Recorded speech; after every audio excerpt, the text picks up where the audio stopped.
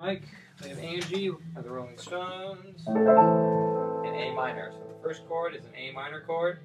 We're playing an A, E in our left hand. This is fifth. A, C, E in our right hand. Second chord, kind of a nice um, descending um, root where you play G sharp, E. You play an E major chord, G sharp, E, B, sorry, G sharp, B, E. resolve, with the melody. Time. I'm going to move my left hand up an octave.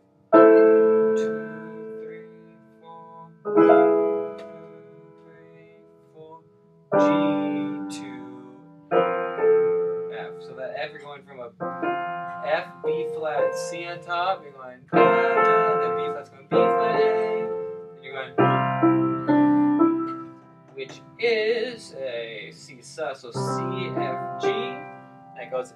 That movement is in between the C and the G. That F E D E